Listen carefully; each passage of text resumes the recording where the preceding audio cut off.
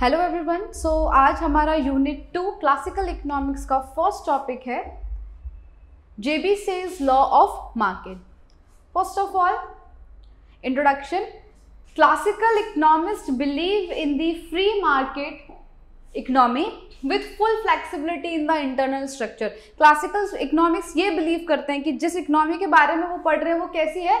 Free market यानी कि no interference of the government और सब एक इंडिविजुअल हैंडल कर रहा है। Flexibility in the internal structure internal structure में फ्लेक्सिबिलिटी क्यों है? क्योंकि गवर्नमेंट का इंटरफेरेंस नहीं है। Second the entire production is on the basis of demand of the economy thus there is no over या अंडर प्रोडक्शन जितना भी प्रोडक्शन हो रहा है, वो डिमांड के हिसाब से ही हो रहा है। तो ना ही ओवर प्रोडक्शन होता है और ना ही अंडर प्रोडक्शन होता है। हर बार इस इकोनॉमी में कैसा? इक्विलिब्रियम ही रहता है।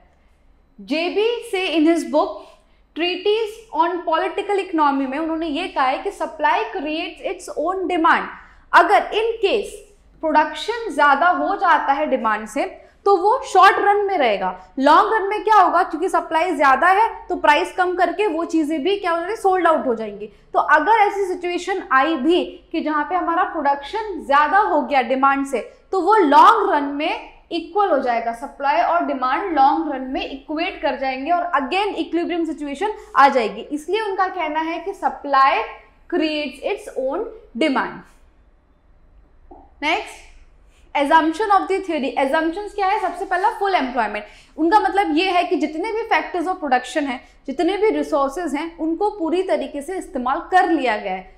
So there is full employment in the economy and all the factors of production are fully employed. कोई भी factors of production ऐसा नहीं है जिसको इस्तेमाल नहीं किया गया full employment की situation ये पहला assumption है second medium of exchange money acts only as a medium of exchange and measure of value actually money के चार function होते हैं पहला है medium of exchange measure of value तीसरा है डिफर्ड पेमेंट के लिए और फोर्थ होता है स्टोर ऑफ़ वैल्यू लेकिन यहाँ पे उनका एजम्पन ये है कि मनी सिर्फ़ दो तरीके से एक्ट कर रहा है.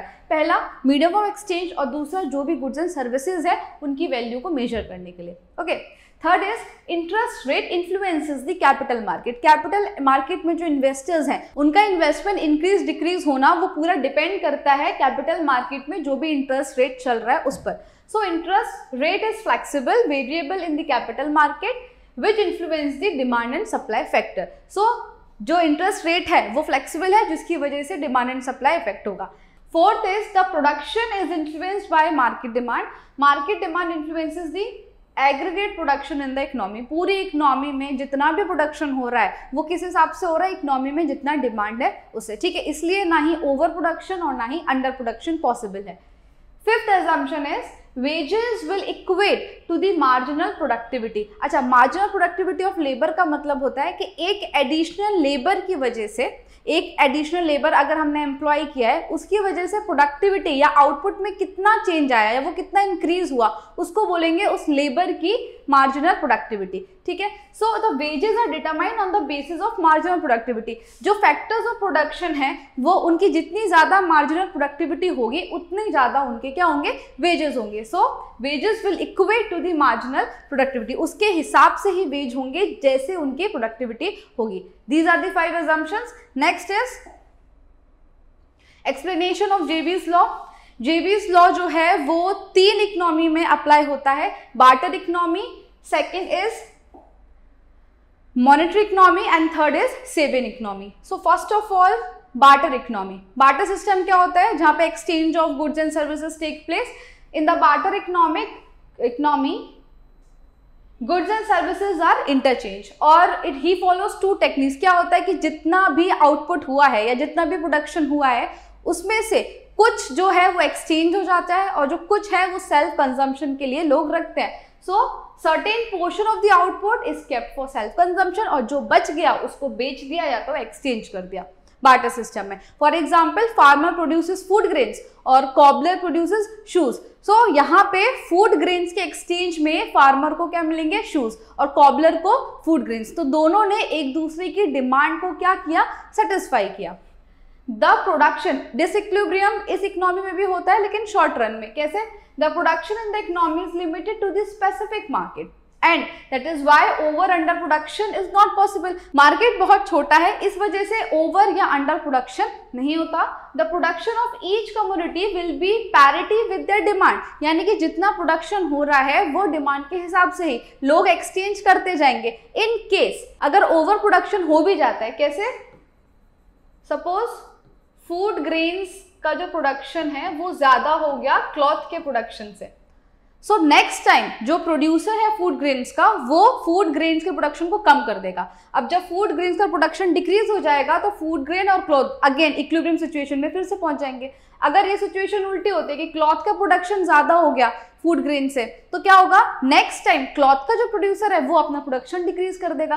तो यहाँ पे डिसइक्विलिब्रियम होगा, लेकिन will be only for this short period क्योंकि लॉन्ग रन में इक्विलिब्रियम सिचुएशन ही रहेगी in the long run the production supply and demand will be in parity long run में डिमांड और सप्लाई इक्वेट कर ही जाएँगे तो सिचुएशन कैसी रहेगी इक्विलिब्रियम वाली okay next economy is monetary economy. In the economy with the existence of money as a medium of exchange, the transaction are done in a similar transaction वैसे ही होते हैं। Exchange होगा। लेकिन यहाँ पर medium of exchange जो है वो क्या होगा? Money. Okay.